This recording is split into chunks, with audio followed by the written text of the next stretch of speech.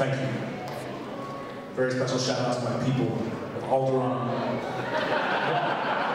Too soon? Too soon. Coming up next, we have a crowd favorite. Everyone knows this. You can sing along if you, if you please.